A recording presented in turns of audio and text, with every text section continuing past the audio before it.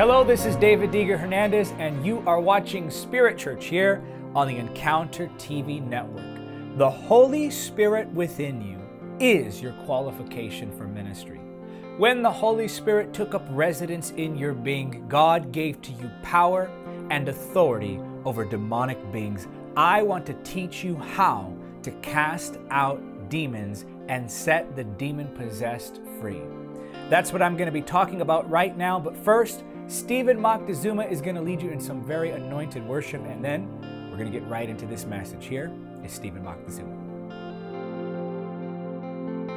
Lord, you have my heart, and I will search for yours. Jesus, take my life and lead me on. Lord, you have my heart, and I will search for yours. Let me be to you a sacrifice. Lord, you have my heart, and I will search for yours. Jesus, take my life and lead me on. Lord, you have my heart, and I will search for yours. Let me be to you a sacrifice, and I will praise you, Lord, and I will sing of love come down. As you show your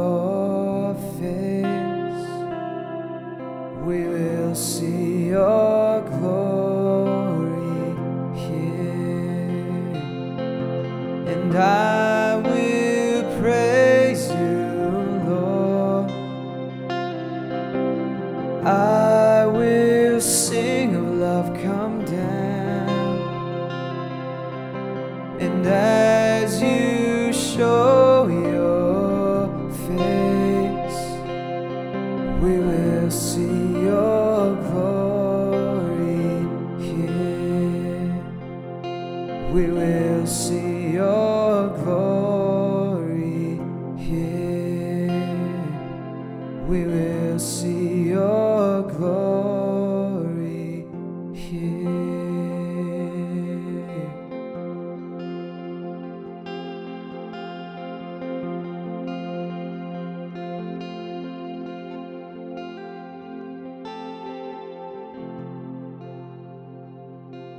As you can probably tell, this isn't the normal set for Spirit Church. And over the next few weeks, you're going to be seeing different setups as we transition to the new and final location for this season of our ministry. We are almost done with constructing the new television set.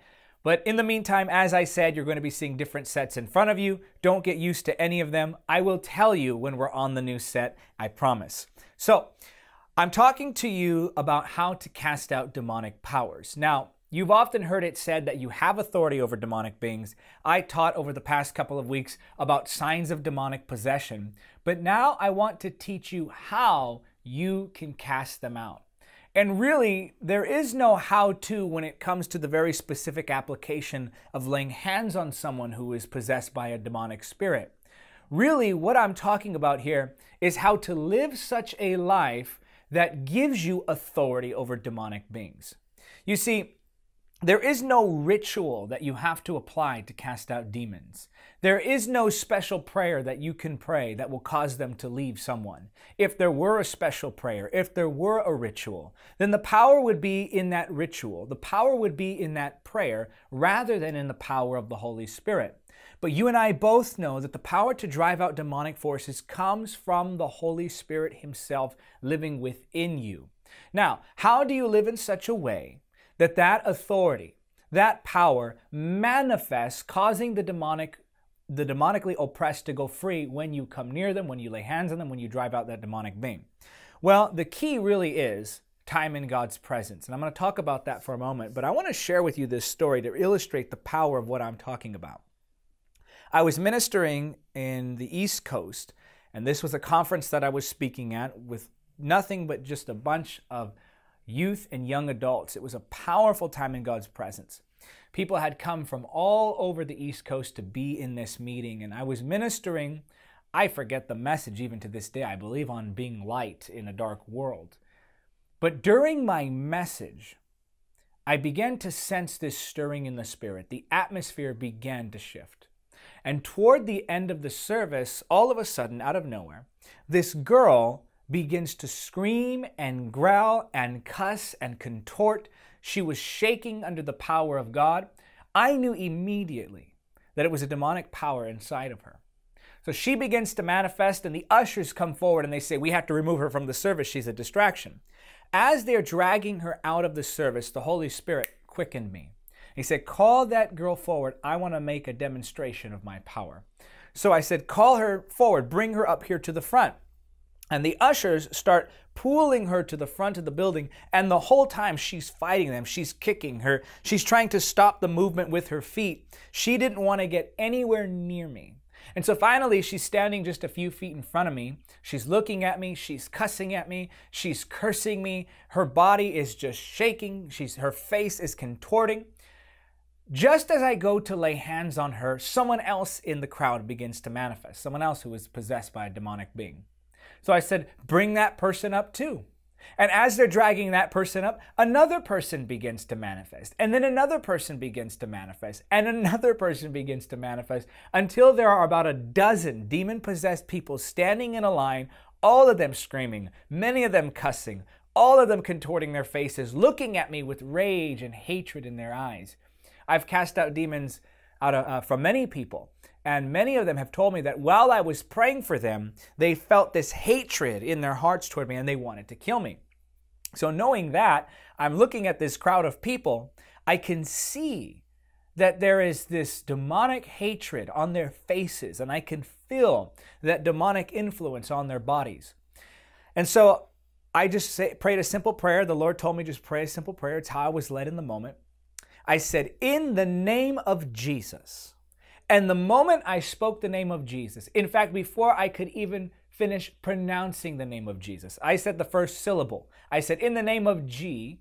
And as soon as I got that first syllable out, all of those who were up at the front for deliverance fell out under the power of God. And they began to twist on the ground like snakes, and they all screamed. I said, In the name of Jesus. And I prayed a simple prayer of deliverance. It was something like, I command you to let them go. And all of them, at the same time, every single one of them were delivered. They all stood up, and instead of screaming, instead of yelling, instead of their faces contorting, instead of them slithering on the ground like snakes, they stood, many of them with tears streaming down their faces. And they lifted their hands and they began to worship God. They were set free in an instant. My friend, that's how Jesus did it. It doesn't take a long ritualistic prayer to cast a demon out. You don't have to go back seven generations this way, seven generations that way. You don't have to interview the demon. How did you get in? What was your door that was open? How did you come to have influence over this person? What is your name? You simply have to speak with power and authority, come out in the name of Jesus, and that demonic being has to go. That's how Jesus did it. That's how we are to command the forces of darkness. No, there is no process to it. I know you've heard otherwise, but we have to look to the Word. There was only one instance that I, I've seen where Jesus asked the demon's name, and that was the man with the, the legion of demons in him.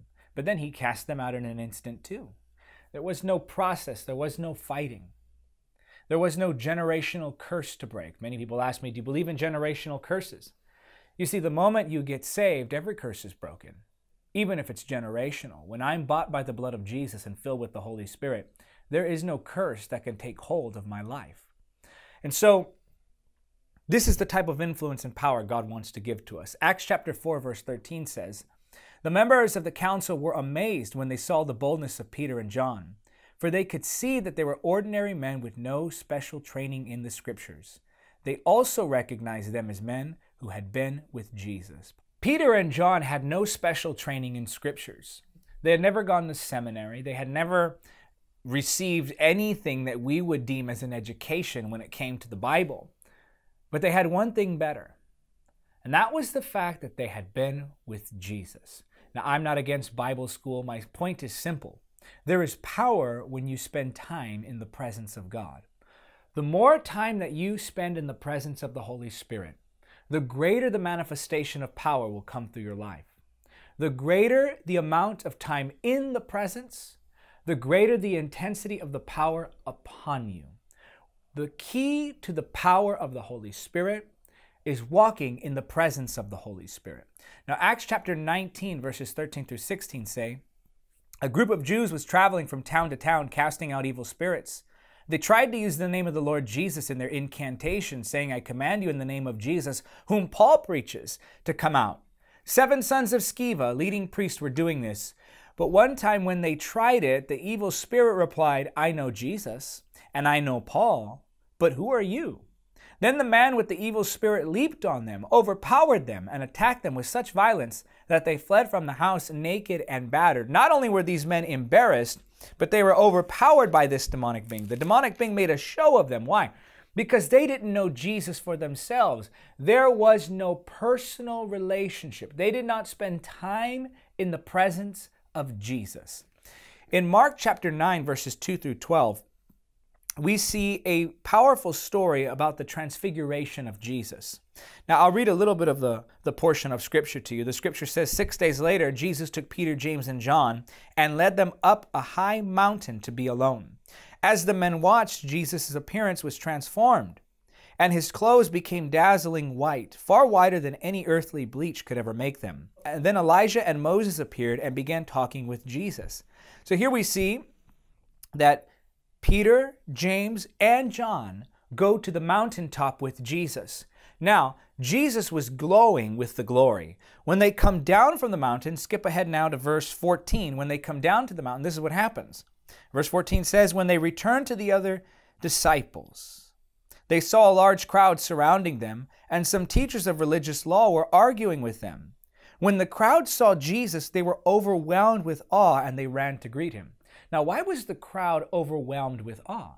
I believe it's because Jesus was still glowing from the glory of the transfiguration experience. He came off of the mountaintop from a heavenly experience, from an open heaven, and he comes down from the mountain to find that his disciples are with the Pharisees arguing.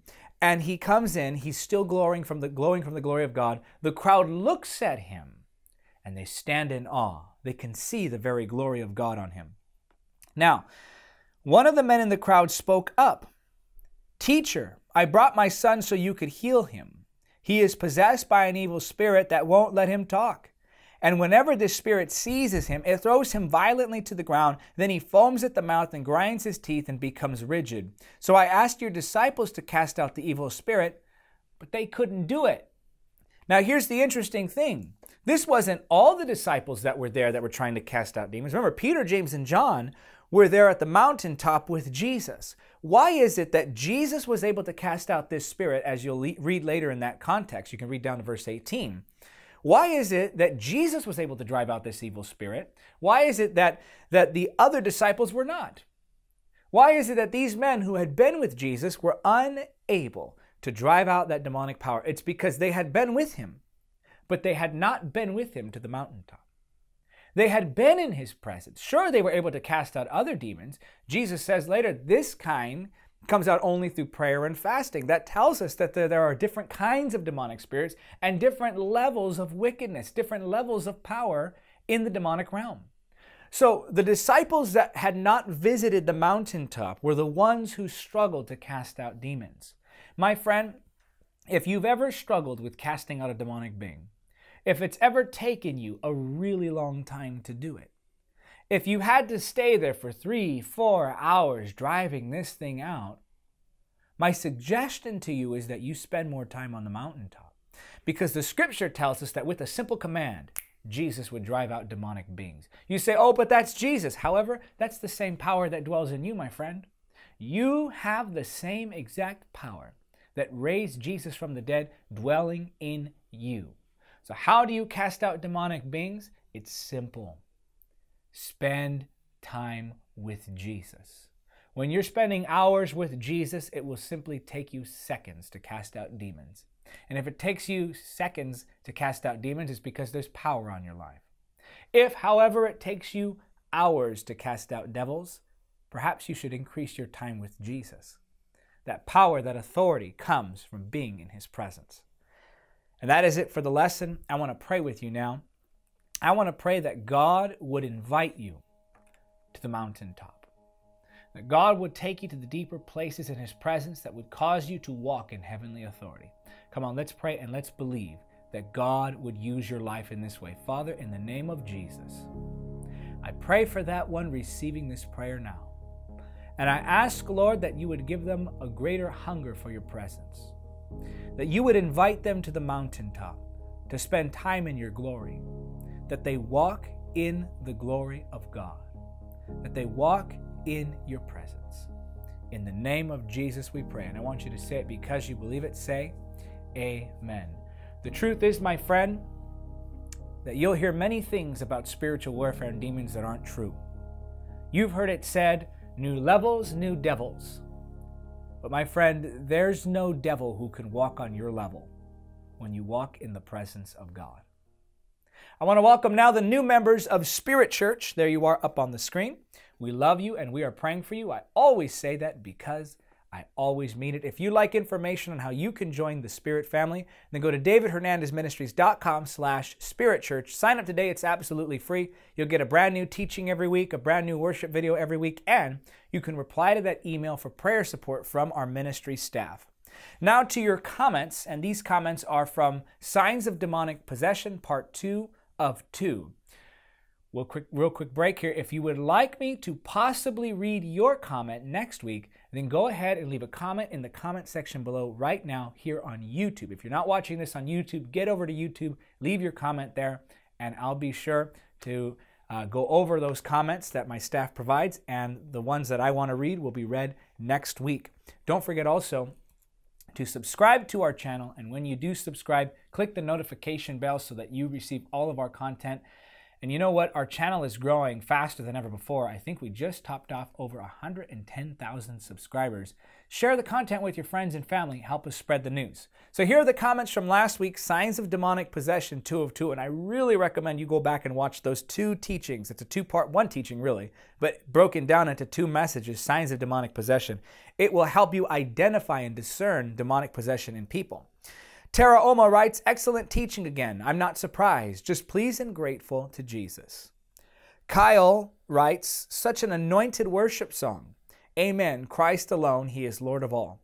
Thank you, Brother David and Steven. This is indeed the ministry of the Holy Spirit. Worthy is the Lamb. Hallelujah.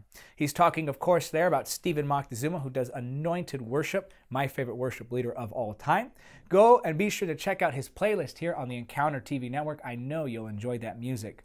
Narmada writes, Thanks a lot again. Praise God for the provision of godly men like you, Pastor David. Pray that God continually uses you for his glory. Praying for you and looking forward to the next one. And the final commenter writes Hi, thank you for your encouragement. I just want to say that the first time I felt the presence of God was watching your services here and following your prayers. Congrats and may God bless you. May your ministry overflow by the love of Jesus. And really, we get messages like that all the time from people who experience the presence and the power of the Holy Spirit just by watching the content. And we want to spread that message further than ever before. Look, we make the content free. Our events are free, and we want to keep offering these things. So, this is where I need your help and support. If you would like to support this great and anointed work, help us win souls and build believers through events and media, then I would like you to pray about becoming today a monthly partner of our ministry at $30 or more a month.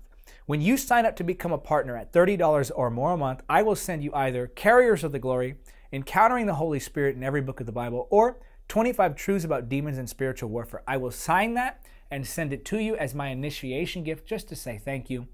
And when you sign up, you're helping us to win souls, and I know God will bless you for it. Look, don't delay. Consider a one time gift or a monthly gift today. Don't say, oh, next week I'll sign up or next week I'll give a gift. Look, every gift counts. Whether you're one of those who gives the $100,000 gift or you're one of those who gives the $5 gift, we have people who give both and everything in between. Wherever you fall in that spectrum, give something today. Give a one time gift today to help expand this ministry, to grow this ministry, that we can continue to do what God has called us to do on this scale. Do a one-time gift or a monthly gift today. Go to davidhernandezministries.com slash donate. Do that right now. Don't delay. Help us get this word out and i know god will bless you for it well, that is it for this edition of Spirit Church here on the Encounter TV network. Until next time, remember, nothing is impossible with God. Thank you for watching Encounter TV. Don't forget to subscribe. Also, help me win souls by spreading the gospel through events and media. Make a one time donation or become a monthly supporter by clicking on the donate link now.